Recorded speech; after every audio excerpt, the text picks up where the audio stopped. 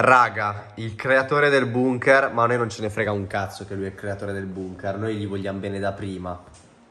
Siamo in live su Twitch. Sta per spammare le cose su bunker nuovo. Ah, non lo sapevo. Link in No, non è descrizione.